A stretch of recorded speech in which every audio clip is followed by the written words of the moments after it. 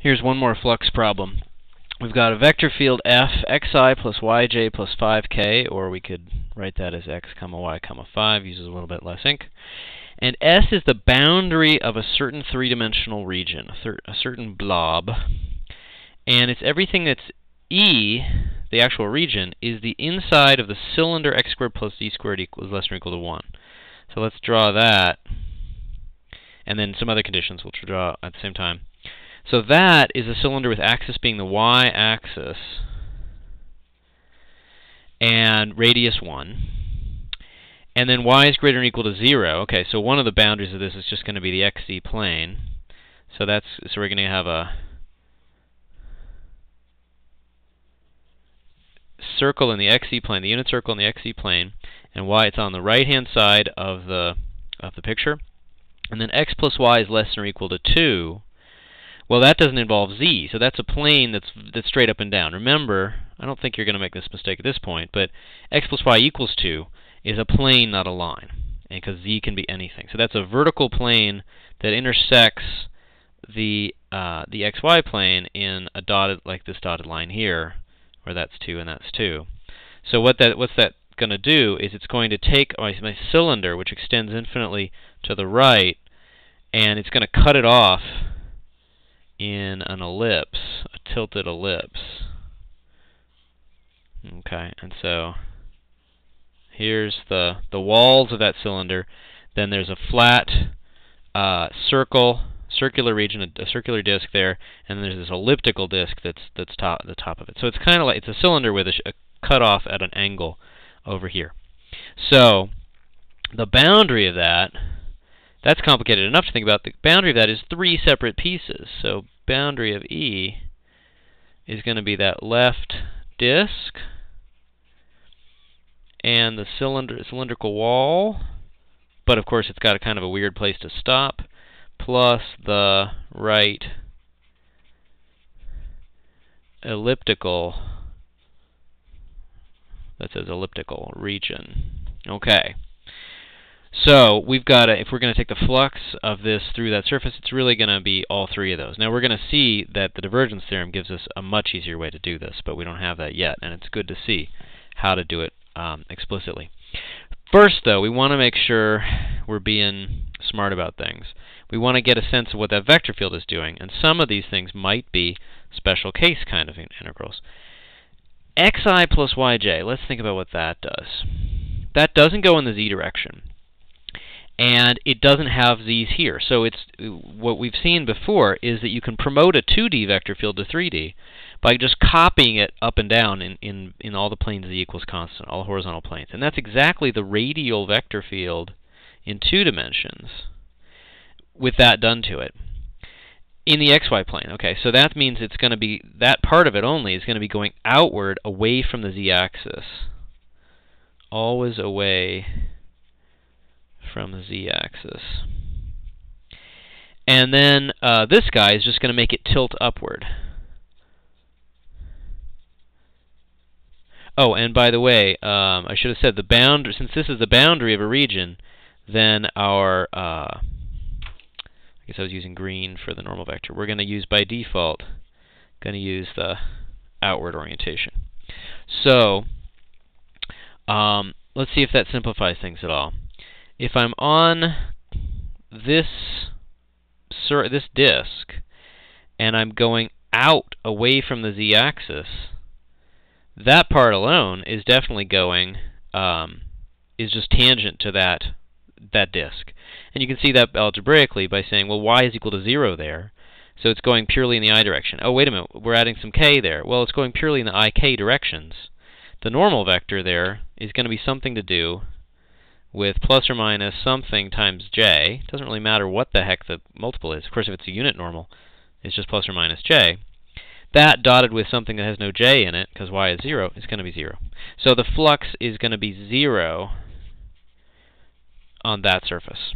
So that's good, and it's really important when you're looking at uh, a region that has multiple parts. Look at the region separately and look geometrically at how the, the vector field works and see if you can conclude that any of those things are zero or, or particularly simple to calculate. Now over here, it's going away from the z-axis because of this stuff and upward, and but not in a way that seems to interact very well with this kind of slanted surface. So you're probably we're probably just going to have to do that, um, parameterize that separately. And then um, the cylinder part, it's going uh, outward, away from the z-axis, and consistently upward. It's hard to see how that's going to be particularly simple. It might all sort of cancel out in a, in a simple way, but it's it's probably not worth it trying to be too clever about it at this point. And we probably just want to parameterize it. But at least we've got only two out of the three pieces that we have to calculate. So let's let this part, the cylindrical boundary, be S1 and this be S2. And so we want to parameterize S1. Okay, well, that's not too bad. It's a part of a cylinder. Um, although it is cut off in that weird that weird way with the x plus y equals 2. Um, so we're going to want to use a, an angle coordinate that goes around and then a coordinate that goes along the cylinder. Well, this coordinate goes along the cylinder is just y. Okay, so we're going to use theta and y, but this is the theta that goes around in the xz plane. So that means x is going to be r cos theta, and z is r sine theta. That's going to be a way to parameterize a cylinder with the y-axis being the axis, and then y is just going to be itself. So it's cylindrical coordinates tilted over. We think we've used these before.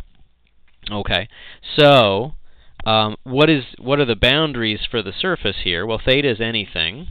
Okay, that is anything between 0 and 2 pi as usual. And then the limits for y depend on theta. Because what do we know? We know that, that x plus y equals 2 is that upper boundary, or y is 2 minus x, or 2 minus r cos theta. So we're going to get an integral, when we do set it up, we're going to get an integral 0 to 2 pi, 0 to 2 minus r cos theta. Okay and that then we're going to have a d uh, dy d theta. But then we still need the vector field and the um, and the, the the rest of the ds part with the cross product. So let's come back to that and look at r sub y. That's pretty easy. That's dx dy dy dy dz dy. Well, the only one that y comes into is y itself. And so that's 0, 1, 0. That's reflecting the fact that these straight lines are part of our grid system. They're always just pointing in the y direction, no matter where you are, with one, one unit vector. R sub theta, dx d theta, dy d theta, dz d theta, that's very much like the usual polar story that's going to be minus r sine theta, 0 r cosine theta. And um, so the cross product, that's going to be pretty simple. 0, 1, 0 minus r sine theta, 0 r cos theta equals, okay, so for i, we just get r cos theta. And for j, we don't get anything. And that makes sense, because the, the normal vector of these guys, these green arrows, they shouldn't be pointing in the, in the j direction. So that's a good check. Plus 0j. And then k, we're going to get um, plus r sine theta k. Okay, so again, that's just xi plus zk. That makes sense. We really could have almost predicted that. That would be the radial vector field in the xz plane, something that always goes out in the xz plane um, because it's got xi and zk, and that's what, what the green arrows look like. Okay, so, but remember, you can't just say, oh, I know the direction, and I'm going to nail it down. This includes the magnitude factor as well. Um, and so you really want to do this out. If you have to parameterize it at all, you have to do it carefully. So I'll uh, stop right here and finish it up in the next video.